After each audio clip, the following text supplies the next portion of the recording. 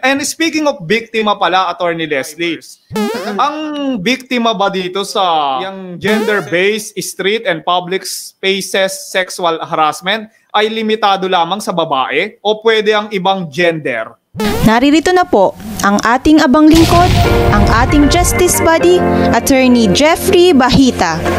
Isang mapagpalang araw sa ating lahat. Gusto na kayo mga buddies sa Luzon, Visayas, Mindanao at sa lahat ng panig ng Pilipinas at ng buong mundo.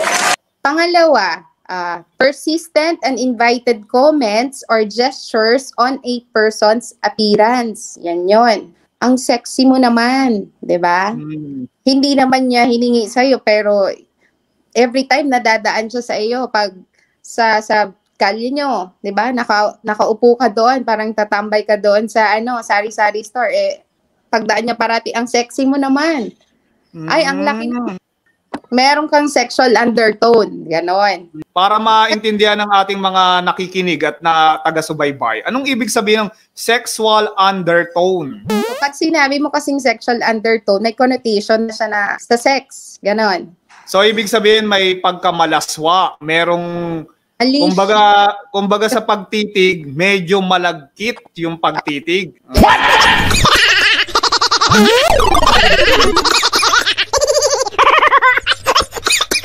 Ayan oh. Eh, meron ka palang ano. Oo, mga assistant ko yan. Meron akong dalawang assistants, ah, Attorney Leslie. Si Ah. Manong at saka si Watt. Oh, hindi ko pala napakilala sa'yo. Ito si Manong, oh. Ayan.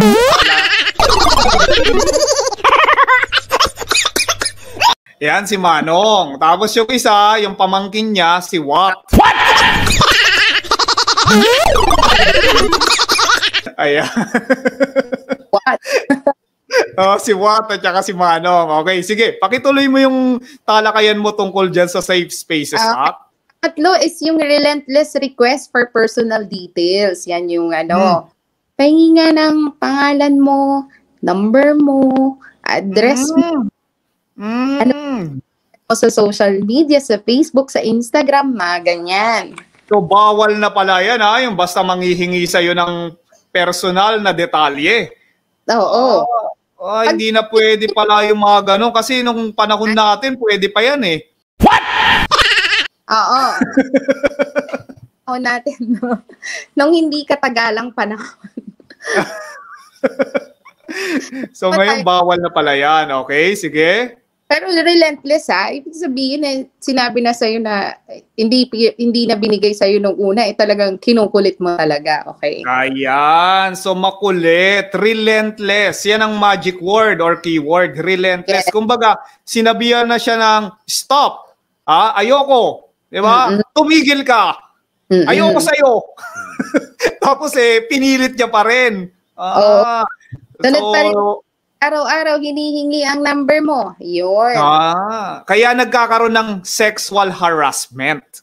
Pa- yes. kasi nahaharas nga naman dahil paulit-ulit. Ang kulit mo, kinukulit mo talaga yung biktima natin. Justice Body speaks the law. And speaking of biktima pala, Attorney Leslie, nagtatanong ang ating mga bodies, mga subscribers, Mm-mm. ang biktima ba dito sa gender-based street and public spaces sexual harassment ay limitado lamang sa babae o pwede ang ibang gender? Ay, hindi lang po ito limitado sa babae. Kasi, di Ah. ba, gender-based na tayo eh. Hindi na tayo, ano lang eh, babae lang. So, ibig sabihin, ang biktima dyan ay pwedeng boy, girl, bakla, tomboy, butiki, baboy. Over there. So, kahit anong kasarian, Attorney Leslie, linawin lang natin. So, kahit na anong kasarian, pwedeng maging biktima dito sa Safe Spaces Oo. Act. Pwede naman. Oo. Justice Body speaks the law. Ah, mga taga-subaybay, ah, hindi yan limitado sa babae or sa mga gustong maging magandang dilag na hindi naman tunay na babae. Yung mga ah, sabihin natin ay bakla or bayot. Pwede rin pala ang lalaki, yung tunay na lalaki, yung talagang walang pagdududa na lalaki, pwedeng maging biktima niyan. Tama ba yon Attorney Leslie? Pwede naman. Oo. Sige ah, yan, malinaw. At least maraming natututunan ng ating mga taga-subaybay. Kasi kala nila dyan, Attorney Leslie, ang biktima lamang sa Safe Spaces Act ay mga babae. So dito nililinaw ng ating bisita na pwede ring maging biktima ang boy, girl, bakla, tomboy, or yung LGBTQI+. Sige, Attorney Leslie, pakituloy mo kasi maraming nag-aabang pa, oh, katulad nito, sabi ni Buddy Adrian. Abang na abang na po kami sa ating abang lingkod na si Justice Body at saka syempre sa ating panauhing pagdangal, di ba? Kasi siya ang subject matter expert natin dito sa Safe Spaces Act. Oo, hindi, hindi naman expert. May- may- Oh, humble pa eh, no? Humble pa yung ating na panauhin eh. Kaya dahil humble siya, bigyan natin ng masigabong palakpakan.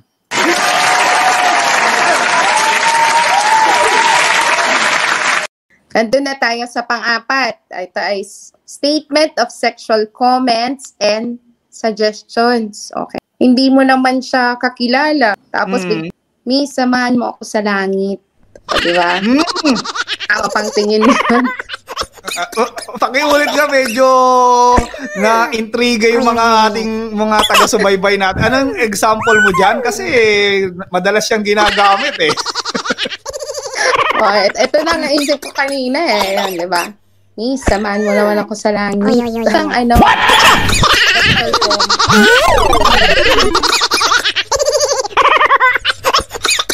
Samahan sa langit ha. Grabe naman 'yan. Oh, grabe na. okay. O sige, pakituloy mo. Mukhang marami ka pang halimbawa diyan. Maganda 'yan. Sige. pang-apat na yun, no? So, ang panglima, ito, ito eh. Alam na to ng lahat, oh. Acts of public masturbation or flashing of Mm. private parts, groping, Mm. making Yan ba yung mga exhibitionist, uh, Oo. Attorney Leslie? Mga exhibitionist yung nagpapakita ng kanilang private parts? Oo, oo, sila yon. Itong mga groping, mga nanghihipo, making offensive body gestures at someone, and other similar lewd sexual actions. Not to masyado explain dahil alam naman na to ng lahat. mm mm Mahirap ito. Oh, pero sabi ni Buddy John Ronel, ah, good evening attorney, di na makapag-aantay upang makanood at may bago na namang matutunan ha? kasi gusto nila talagang matutunan yan eh. Kasi ang ginagamit pong mga kataga sa batas ay medyo technical, medyo legal talaga. Kaya buti na lang at ah, pinaunlakan tayo ng ating panauhin para ipaliwanag yan sa mas nakakasabihin natin eh, mas maiintindihang paraan ng ating mga ah, taga-subaybay. Kasi, oh, shoutout sa lahat ng mga nanonood pala. So, maraming salamat sa inyo. Ito po ang inyong abang lingkod, Attorney Jeffrey B. Bahita na nagpapaalala, sundin natin ang batas at mabuhay tayo ng patas. Ito po ang inyong Justice Body. Kung bago ka sa channel na ito, huwag kalimutang pindutin ang like, subscribe button, at notification bell para otomatiko kang maa-update sa mga latest videos na tiyak na makakatulong sa iyo. Nabitin ka ba sa ating talakayan? Panoorin mo ang iba pang videos ng ating Justice Body. Dahil ang sabi sa Kawikaan 13.20, ang nakikisama sa may unawa ay magiging matalino, ngunit ang kasama ng mangmang ay masusuong sa gulo.